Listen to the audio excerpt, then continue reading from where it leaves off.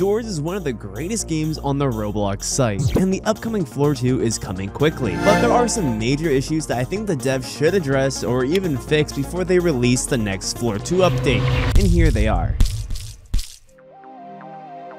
The first problem I'd like to discuss is something that I believe that has been an issue since the day one of Doors, and the problem lies within the gameplay of the entities. The main gameplay loop of Doors involves dealing with a large pool of different entities who could attack the player at any given time forcing the player to always be ready to either hide from Rush, look at Screech, run from Seek, and the list goes on with all sorts of engaging gameplay mechanics you'll face with each entity. However, when we look at Halt for example, it's completely different. Myself and many other door players are left extremely disappointed. Halt's gameplay is the least engaging, but at the same time, the most intrusive entity of them all. If you break down Halt's gameplay, it's very simple. You hold the forward button to go forward, then you hold back to go backwards. It's basically red light, green light, just a little creepier, and this whole little mini game can take up to 2 minutes. And that can get very stale very quickly. There is an extremely large group of players who, when they get Halt, they just quit the game. I'm talking about the speedrunners here. Because there's no way to do this efficiently or effectively. It's basically guaranteeing you you have like a little timeout. You have to do this little mini game and a lot of people just don't find it fun or engaging or just immensely satisfying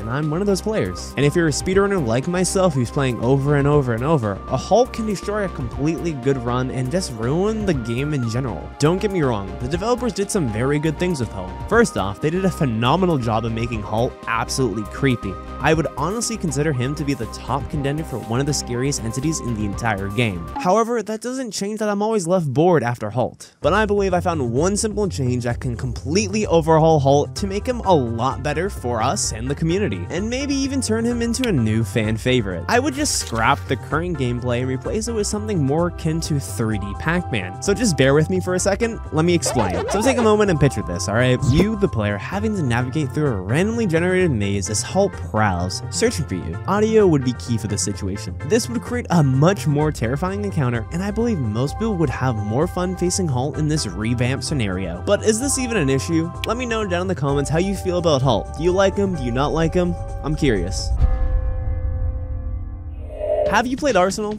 It was one of the largest Roblox FPS games on the site, but it had one major issue that left the community questioning the devs' intentions. Every time a brand new event was updated and released, it would add a new game mode, maps, and even some new weapons. But after the event was over, the team would just take away all the stuff they worked on. The maps would be gone, the new weapons would be gone, and even the fun new game modes would just be completely gone. And everyone would just be left with all the old stuff, bringing the game back to where it was before the event, which made the game feel like it was never getting updates when there was no event going on, which left most of the Arsenal community losing complete faith in the development team, and weirdly enough, we're starting to see the beginning of this within Doors. Last year's April Fools, LSPLASH added a new alternate mode to Doors called Super Hard Mode, which tasked the player to get to room 100 just like in the original, but with a large variety of new challenges to worry about. There were banana peels scattered around the floor that would make the player trip if they walked over, Seek was now faster due to him having a literal car, Figure was reskinned as a Roblox noob and extremely fast, and then you had Jeff the Killer. And for those who don't know, Jeff the Killer was an extremely popular creepypasta back in 2012, and they had him in the game chasing you between room to room, and he was probably the scariest thing in this entire update. I won't lie,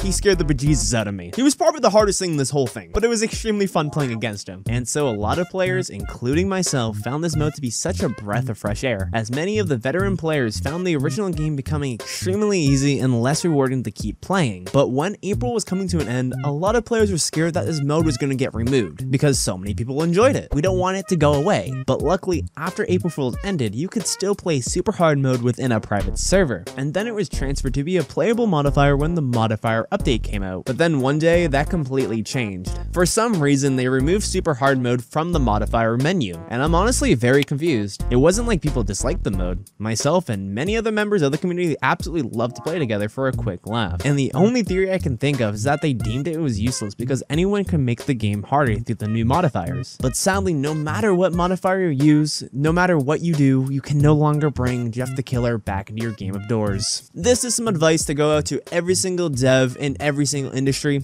If you make something cool for your game, just don't remove it. Don't waste your time, your effort, your blood, your sweat, and the product you made that was awesome. If people like it, just don't remove it. More can always be better, you know? Come on, guys. Stop. Buying knobs, buying revives, Roblox premium player payouts, and selling plushies. The Doors team have made a tremendous amount of money, which is amazing! You guys deserve every single dime you've made. And to be honest, you guys should have made more on top of that. But Roblox's malicious ways on how they treat their devs is for another video. To the point though, with all that money you made, couldn't just like a little smudge of that went into hiring new staff? Everyone knows your small team blew everyone away and helped Roblox get mainstream attention from the biggest creators who don't even regularly play Roblox. But it's been so long since we gotten new content. Don't get me wrong, I know nothing great comes fast, and I'm willing to wait, but it could come a lot faster if you allow people to help you along the way. So devs, where's floor 2? Come on. Make sure you guys like the video and watch this video next where I rank every single Seek Chase clone I could find. The third one is gonna shock you, trust me.